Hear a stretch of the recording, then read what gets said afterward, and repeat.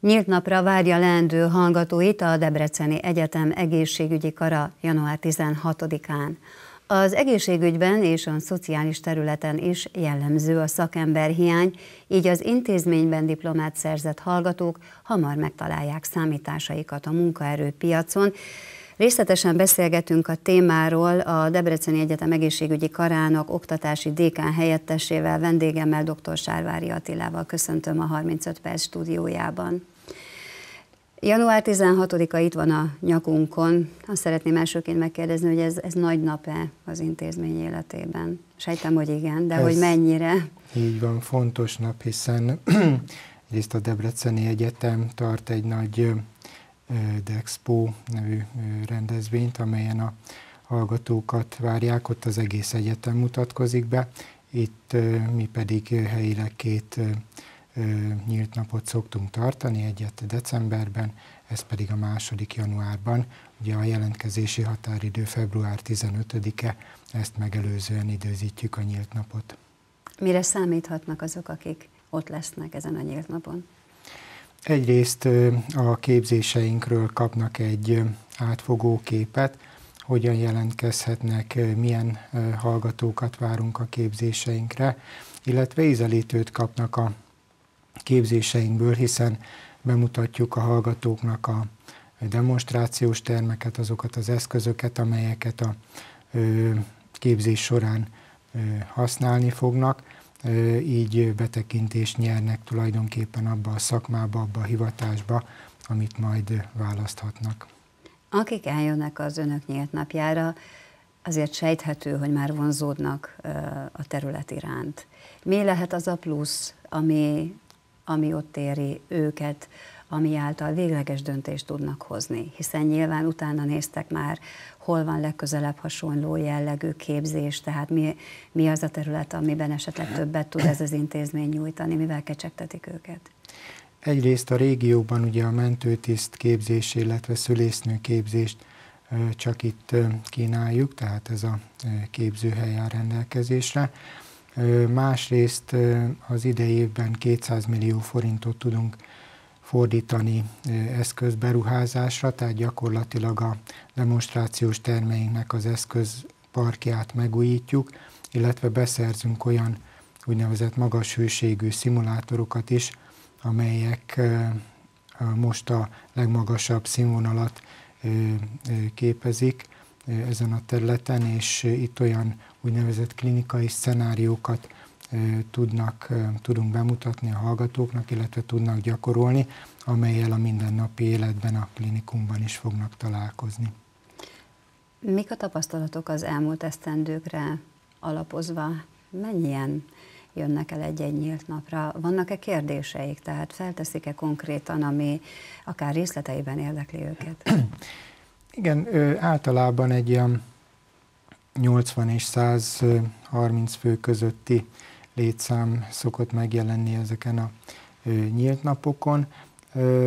Nyilván a, a kérdések köre az változó, tehát vannak olyan kérdések, amelyek magával a felvételivel kapcsolatos, a kérdések másik része technikai jellegű, tehát kollégiummal, ösztöndíjakkal kapcsolatos, illetve a harmadik kérdéskör pedig nyilván a szakmához kapcsolódó, tehát hogy milyen jellegű gyakorlatok lesznek, hova mehetnek területi gyakorlatra, hol tölthetik ezt, és ilyen jellegű kérdések merülnek fel. Én gondolom, hogy a kérdések között azért az élen van a duális képzéssel kapcsolatos érdeklődés is. Így van. Ez a szociális munka alapszakon lehetséges. Tavaly indult el először a duális képzés, tíz képzőhelyel állunk konkrétan kapcsolatban, illetve munkáltatóval állunk kapcsolatban, akiknél munkát vállalnak ugye a duális képzésre jelentkező hallgatók, tehát tulajdonképpen egyrészt dolgoznak egy adott munkahelyen, másrészt pedig tanulmányaikat folytatják az egészségügyi karon.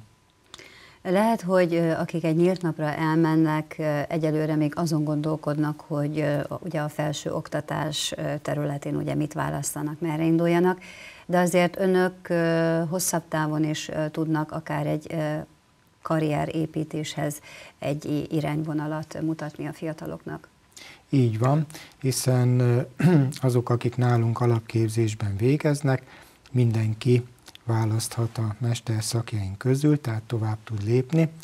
Ugye most jelenleg négy mesterszakot ajánlunk a hallgatóinknak, ugye a egészségügyi szociális munka, ez az orvos egészségtudomány területén az ápolásmesterképzés, ami egy másfél éves szak, ez az ápoló és mentőtiszt hallgatók számára nyitott, a szociális munka és szociális gazdaság mesterszak, illetve a pedagógus képzése területen az egészségügyi tanár mesterszakot ajánljuk, tehát mindenki meg tudja találni a számítását.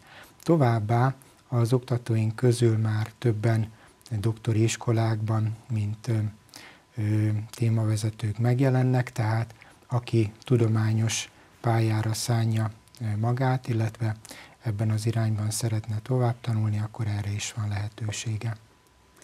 Jelentkeznek-e évről évre elegendő számban, megfelelő számban hallgatók önökhöz? Így van, minden szakunkra szoktak jelentkezni. Ö, visszamenőleg általában ugye a legnépszerűbb szakok ugye a mentőtíz szülésznő szak, de sokan jelentkeznek az ápoló, illetve a védőnök képzésre, és hát az egészségügyi szervezőkről se feledkezzünk meg, hiszen ott két specializációt, az egészségügyi ügyvitelszervező és a másik az egészségturizmus szervező szakot ajánljuk. Hát ugye a turizmus, az egészségturizmus az most egy kiemelt célként jelenik meg Magyarországon, és így Szabolcs-Szatmár Bereg megyében, Nyíregyházán is. Végül a beszélgetés végén én szeretném, ha mindenképpen kitérnénk arra, hogy bár talán sokaknak evidensnek tűnik, de én, én szeretném, ha ön azért röviden összefoglalná, hogy milyen típusú fiatalok, milyen típusú hallgatók azok, akik emberileg is alkalmasak ezekre az egyébként nem könnyű pályákra. Így van, tehát itt ugye alapvetően akár az egészségügyi területről, akár a szociális területről beszélünk, itt ugye alapvetően emberekkel kell foglalkozni, ami nem könnyű feladat, hiszen sokfélék, sokszínűek vagyunk, ráadásul a beteg embernek még egyéb problémái is vannak, amit figyelembe kell venni. Úgyhogy hát így az empátia az nagyon fontos ezen a, a területen.